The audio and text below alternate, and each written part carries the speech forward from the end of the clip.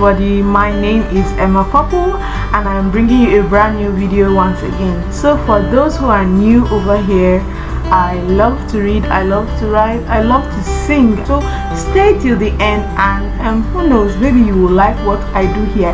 So jumping straight into what this video is all about I am going to be reviewing a book in this video.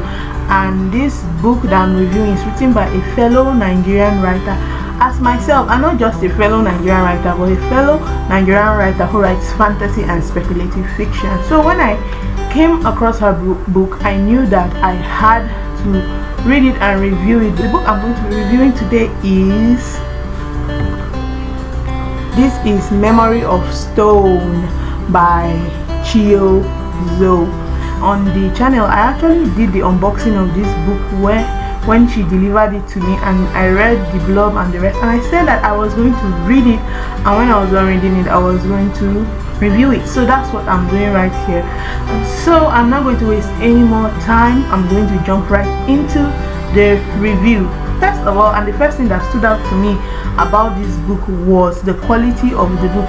And when I'm talking about quality I'm talking about the physical quality of the book so if you've been reading Nigerian fiction for a long time, you will know that if it's not from publishers like um, the big publishers who publish people like Chimamanda and the rest, like your everyday publisher, it's really really hard to get good quality books. That's one problem we have in Nigeria so it really really stood out to me when she brought this copy and i was saying it during my unboxing that the quality of the book is really really good. I've had this problem many times when reading nigerian books. I read and i open pages and before you know the page starts falling out. I didn't have any of the problem. The printing was not splotchy or anything. I just have to commend the cover picture. Like look at the way light bounces off the mask let me just say that i don't mean to spoil this book. I am not going to enter so in-depthly into the book to tell you like the storyline or everything but i'm just going to brush through it because like nothing is as annoying as getting to hear the story of the book or getting into the main issue without reading the book. This is a non spoiler review i repeat a non-spoiler review so you can watch it till the end even if you plan to read the book. And i hope everybody plans to read the book because it's a pretty great book. Just get an idea of what the story is about and what the plot is about. I'm going to read the blog. Finally thriving as a criminal in an infamous run-down city nicknamed the bottoms 18-year-old nyx is forced to leave to rescue her only friend. When she is imprisoned for her damning discoveries, she must do everything to regain her freedom, even if that means losing everything she's ever known. Lawrence Blade is a mask-wearing commander and a living legend at only 18. Coerced into a life at court, he finds that not everything is as simple as death on a battlefield, especially when he discovers secrets unknown down dark corridors in court. When the attention of the king lands him on a dishonorable mission, he must decide where his loyalties lie.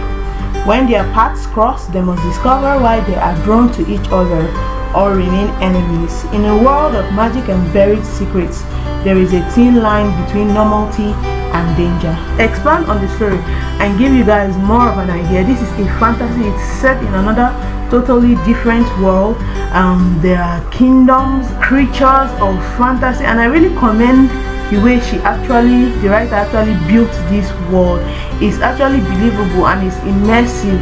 Um more about the story like this is a story of adventure. It's not a story where a character is in just one place. They are seeking something they are finding something they are finding their self. Um it's a story where the characters are well I say on a journey not necessarily on a journey but they are moving from one place to another but they are trying to discover secrets as the as they wrote in the blog. They are trying to discover things about themselves and that's just what the plot is about. So they go from place to place they meet people they discover things and then there is a big discovery at the end. That's all i can let you guys know about the story now. I've already addressed the setting that is a fantasy world. I also want to address the characterization in the book so as you can see here there are two main characters Nyx who is a lady. Um, the name is really cool like Nyx you just know he's a badass or something. And then there is Lawrence Blade um, who is who is a guy. So the story follows these two characters. I really like the characterization of the story but the place where i had an issue was with nyx. Now nyx.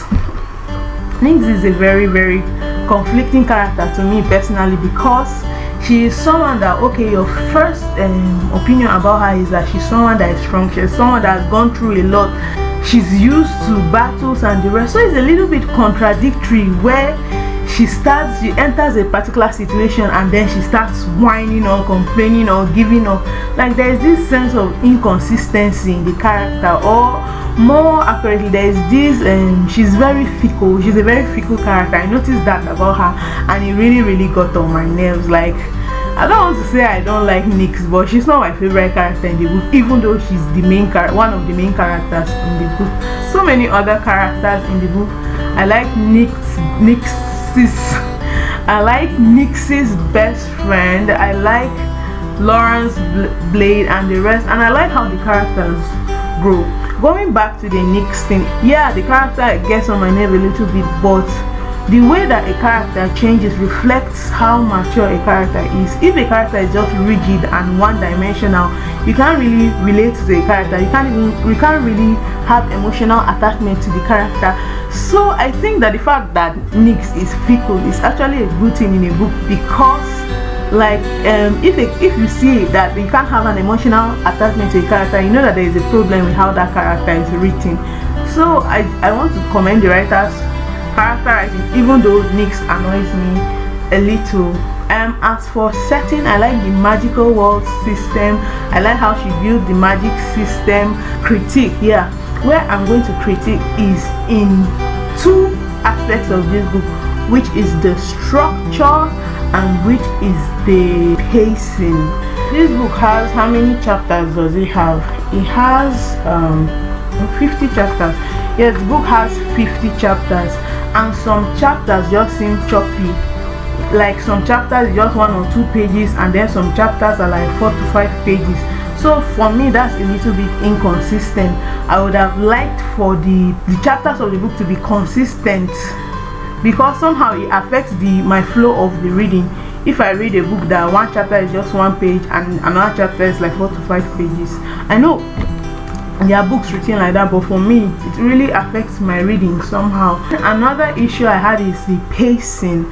So i was actually talking with someone discussing the book and i was talking about the pacing. There are some parts of the book where things are slow. You keep asking okay what is happening?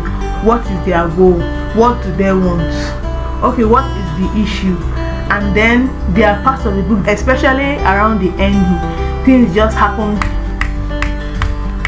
now they are here. Now they are there. Now this is happening. Now this discovery comes up and i feel as if there is a way that they would have balanced it together because sometimes slow pacing is good because it makes the reader want to linger into the story and discover things about it. But once once things get too fast it's, it's like with the same experience with the, the, the chapter arrangement it is disengaging the book. It's making it a little bit rigid and stuff. It's not making the flow so good. But all these things i'm saying i'm just nitpicking about the story. I'm just nitpicking about memory of stone it's a very very good book that anybody should read especially lovers of fantasy and even people who are not lovers of fantasy. So that is all for the review of the book as I would recommend I would recommend anybody to read the book. It's really really interesting. Like once you start reading it's like you, you don't want it to ever stop. Like I was mostly reading it at night. I would stay up like two hours three hours in the night to read it because I'm usually busy around the day and like it's it's a very nice book. Now after this review I just want to add one more thing. It is writing in Nigeria and the inclusion of fiction writers. I know that writing fantasy is not something that is very popular in the country. Like you can't even think of any fiction writer in Nigeria off your head. I used to wonder when I was younger, like why are there no Nigerian films that are fantasy that are like out of this world adventure that are science fiction that are set in the future like i always wonder about it like something about art is that art has no limit. You can go as far and as wide as you can. So why don't nigerians push the envelope? Why do we like to stay in the status quo? You watch a, an average nigerian film if it's set in like a home video it's in the house there is a mother-in-law there is a wicked stepmother like it's very very tiring and exhausting. Like I keep asking when we have like a story where there is a nigerian superhero or a Nigerian super villain or a giant monster attacking the the whatever. And I've actually made my um my attempts to write that because someone once told me that if there is a story that you want to read write it. I remember writing bad renditions of giant monsters attacking Abuja or um, Nigerian vampires or Nigerian alien invasions. But I like when we experiment because like the way Nigeria is we need color and we need diversity. Nigeria is naturally a diverse nation. Like there are so many tribes and so many religions and the rest. Is so diverse and colorful so why do we like to stick to the status quo? In professions why is it lawyer banker uh, doctor journalist? In art why is it only pencil art like there are so many ways that we can diversify in this country and i feel as if even in writing we should start doing that. Like if there are more nigerian writers i want to read anything and everything about them. I want to read nigerian sci-fi i want to read nigerian fantasy i want to read nigerian ya and like no matter how i want to talk I mean criticize book or whatever. There is that thing in it that it's a Nigerian writer that wrote this fantasy like me somebody like me that has imaginations like me. She's the one that wrote this fantasy. And so that fact alone just makes me excited about it. So I've rambled a lot and unfortunately or fortunately we have come to the end of this video thank you so much if you reach this level. You are a real star you're a gem you're the best in the world. Um this is the end of the video. Thanks for watching. If you enjoyed this video please like it subscribe for more of it. Recommend more Nigerian fantasy books of sci-fi books so that I can read and review. Tell me your thoughts on the idea I spoke about expanding Nigerian fiction or life as a whole in Nigeria and that is all for this video guys. Thank you very much. Goodbye